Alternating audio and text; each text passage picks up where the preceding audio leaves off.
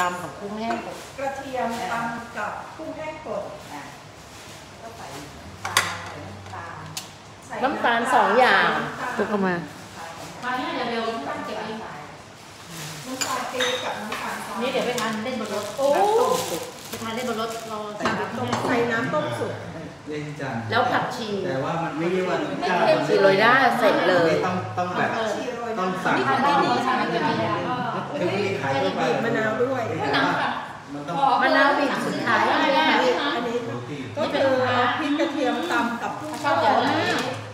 ไปฝากไว้ที่คอนโดเลยก็ได้เนอะน้ำตาลปี๊บน้ำตาลทรายเกรงใจ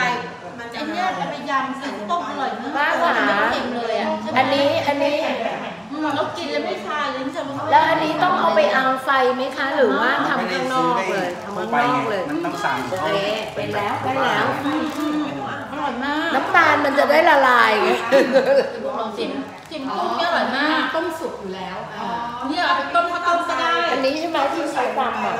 ้วเอาน้ำ ใช่ใช่เนี่ยฝากเดี๋ยวไปกินเล่นในรถไปหลังฝากต้นซื้อได้ใช่ป่ะน้ำต้มสุกต้องอุ่นเฮ้ยจืดว่ะอันนี้ต้มๆน้ำน้ำต้นสุกตอนแรกต้องอุ่นๆนิดนึงใช่ไหมเอาไงดีก็เอาไปด้วยนี่แหละอ๋อ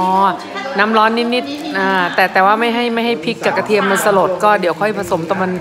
น้ำตาลละลายก่อน หรือว่าหรือว่าใส่พร้อมแต่ต้นเอาหนึ่งเอาสองโลเฮ้ยเฮ้ย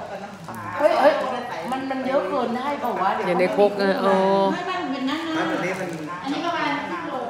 ทำในครกได้เลยเด็กโอ้ยแล้วกุ้งแห้งใส่เท่าไหร่ก็ต้องสั่งนั่นเด็แต่แต่แต่อันนี้อัตราส่วนอัตราส่วนกะเอาทุกอย่างกะขอบคุณมากค่ะขอบคุณมากค่ะไ